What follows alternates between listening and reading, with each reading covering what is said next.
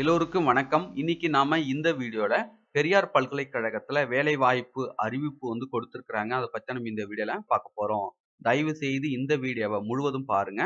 பார்த்த பிறகு மறக்காமல் உங்களுக்கு தெரிஞ்சவங்களுக்கு இந்த வீடியோவை ஷேர் பண்ணுங்க. அவங்களுக்கும் பயன்படட்டும். வாங்க நம்ம வீடியோக்குள்ள போகலாம்.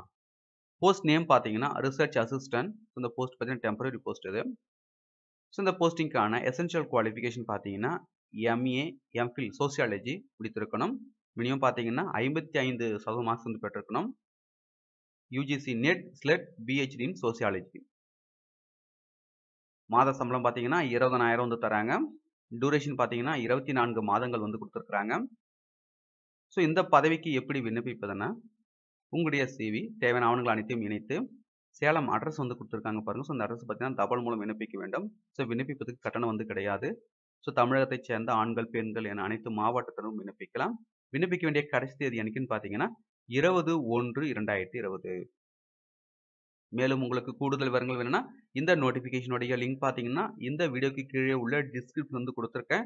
டவுன்லோட் செய்து ஃபுல்லாக படித்து பார்த்துங்க மீண்டும் நாம் அடுத்ததொரு வேலை வாய்ப்பு வீடியோ சந்திப்போம். அனைவருக்கும் நன்றி.